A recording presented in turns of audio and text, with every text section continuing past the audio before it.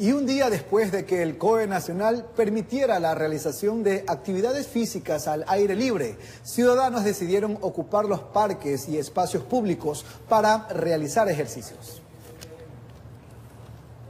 El anuncio lo realizó el director nacional del ECU 911, Juan Zapata. La disposición abarca a los 109 cantones que se encuentran dentro del semáforo amarillo. Dentro del horario que no rige el toque de queda, podrán salir a hacer actividad física individual las niñas, niños, adolescentes y personas menores de 70 años. Las actividades permitidas serán caminar, trotar, correr. A la mañana siguiente, en las áreas abiertas de Guayaquil se pudo apreciar la existencia de varios ciudadanos realizando actividades deportivas. Algunos lo hicieron en grupo, mientras que otros prefirieron mantener la distancia y practicar a solas. Yo creo que nos hemos puesto muy felices porque algunos ya extrañaban ir al gimnasio, otros extrañaban de pronto realizar las actividades aquí al aire libre. Yo creo que la sociedad le va a hacer muy bien.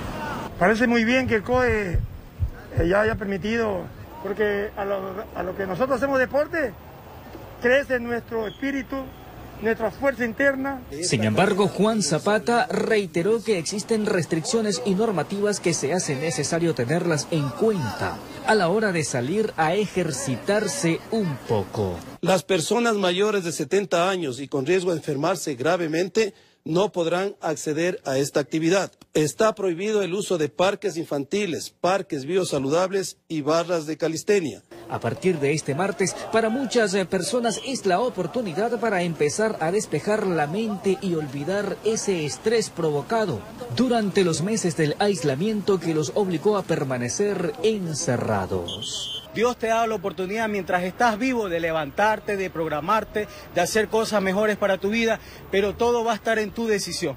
Informó José Morales.